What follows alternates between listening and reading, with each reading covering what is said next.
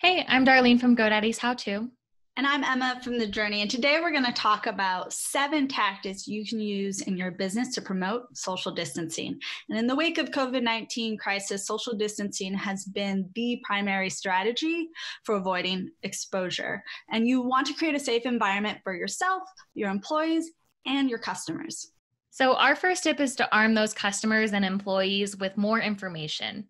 It's really important to educate everyone on how and why social distancing works. The CDC offers a number of printable fact sheets you can display at your place of business, informing people about the need for social distancing and how diseases like COVID 19 are transmitted. Number two, postpone large scale events or stream them online. As recommended by the CDC, it's in the best interest of public health to cancel or postpone large scale in person events like conferences, sporting events and concerts and gatherings of more than 10 people are not recommended so musicians churches and other businesses that require an audience might consider streaming their concerts and their services online and you might want to use youtube live or viewstub as a way to broadcast yourself or events Number three, replace in person conversations with virtual ones. Instead of meeting face to face, meet virtually. In most cases, it's not too difficult to use an online platform to replace a simple meeting with a video conference or a conference call.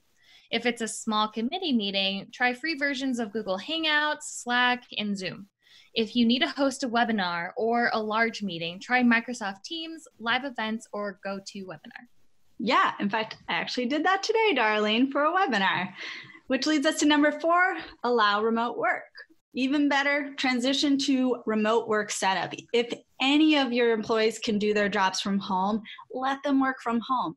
Facebook, Google, Twitter, and Amazon and GoDaddy are just some of the companies enacting more flexible work from home policies. For some roles, remote work even leads to increased productivity. So don't worry right now about productivity loss. Number five, lean on online services when possible. Starbucks recently transitioned to a to go only model to reduce foot traffic. A lot of restaurants around the country are shifting to a pickup only model, not allowing anyone to dine in. Retail stores, including some liquor stores and grocery stores, are adopting a similar model. Then you can either ship them or walk products out to customers when they drive up. Shipt.com is a delivery option for groceries and other large retailers. In an effort to help restaurants, Uber Eats committed to supporting the restaurant industry by waiving the delivery fee for more than 100,000 independent restaurants across the US and Canada on Uber Eats. Number six, reduce cash handling. The era of cryptocurrency and digital wallets is nearly here, but in the meantime, I know many people still prefer cash, right? However, the CDC recommends avoiding high touch services like doorknobs and tables. Of course, paper money and coins, which changes hands multiple times a day, is one of the most high touch surfaces around as a temporary measure for brick and mortar locations, just reduce or eliminate cash handling. Instead, use tap based payment systems or digital payment systems whenever possible. Consider PayPal, Venmo, or even Apple Pay and Google Pay as a way to avoid handling money.